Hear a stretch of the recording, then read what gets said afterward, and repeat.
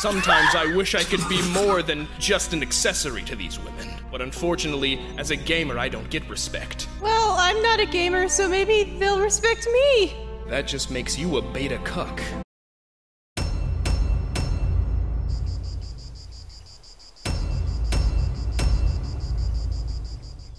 With how close Amethyst dragging that whip, it's a wonder she isn't tripping and falling. Also, Amethyst looks really squished in this shot. What's up with her legs? In this shot, the part of the truck behind Peridot looks like this, but in this shot it changes to this other color. It confused me specifically because I'm pretty sure that part of the truck is supposed to be open for Peridot to crawl through here, but because it looks so strange, I thought she somehow crawled under a rear windshield or something. Something looks different about you. Have you grown taller since the last time I saw you? Nope, still short. You're welcome. For the joke. I see the lesson that Peridot learned in Too Far went in one ear and out the other, and frankly, I think that's bad writing. She saw how upset the idea of being short made Amethyst in Too Far, and she should even see it again here. But nope, she still jokes at Amethyst's expense and even laughs practically in her face. Couldn't they have at least tried to make Peridot express at least a little concern? Look at Amethyst's face. I'm pretty sure even the most emotionally inept person in the world could notice this. It sucks that they seem to basically undo Peridot's development just for the sake of this one joke. Lapis, fly us in! No. This is the leaf Steven gave me. It reminds me of the time Steven gave me a leaf. Hey, yeah, it reminds me of that too. If this is a Camp Pining Heart VHS tape, where the hell did they put the tape in? Also, they stabbed the sides and bottom of this TV. That's gotta be a major electrical hazard. Is this one about the thousands of years you spent trapped in a mirror? No, I just really like that show. Her voice sounds entirely too nonchalant for what her face is communicating. Sounds like somebody didn't give the voice actor any direction. One, a two, a three, and. Well, that's as far as I practiced that. Lapis's gemstone is missing in this shot.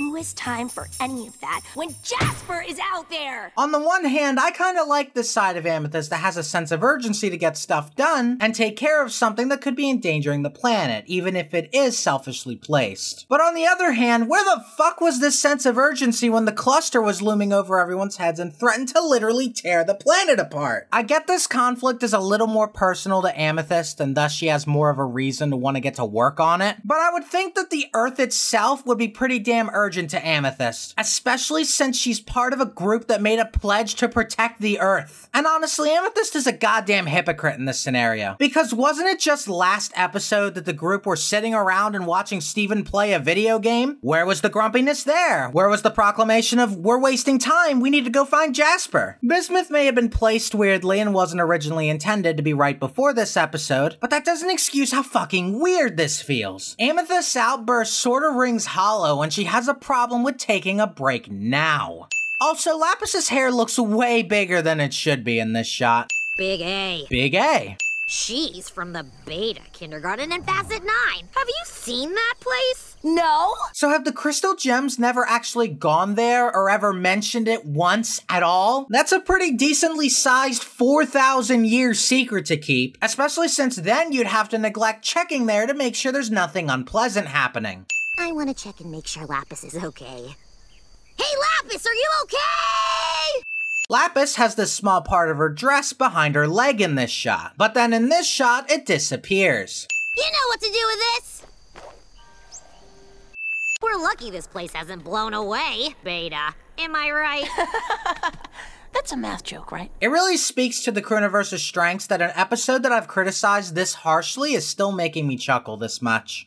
The way that this location is explored in general also shows another of the Crewniverse's strengths in world building. I'm genuinely interested to learn more about this place and its conditions during wartime as Peridot explains it. It's really fascinating stuff. The Crewniverse thrives in aspects such as world building and a character's development and emotional growth, most of the time. It's just things like maintaining said characters while also cultivating new ones that seem to elude them sometimes.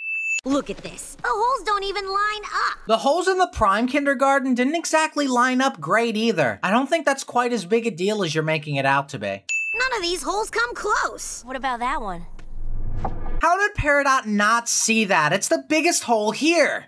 Also, what? How did Jasper come out this well in an environment this shitty? This seems like more than just luck. This is completely improbable. According to the wiki, kindergartens practically require rich resources in order to create even standard gems. So I find it incredibly hard to believe that creating someone like Jasper could have even been a pipe dream here. Also, also, why did she come out literally flexing?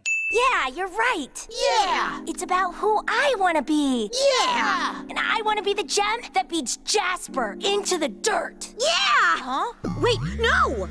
I'm doing it. And not just for me, for all the weird holes out there. Oh god. Then, what are they? How did Steven not see that thing? The hole's not that deep. Jasper. And now, how does Jasper not see or hear any of these three? I mean, fuck, even the corrupted gems are getting riled up just at their presence. Why is she not trying to find out what's happening?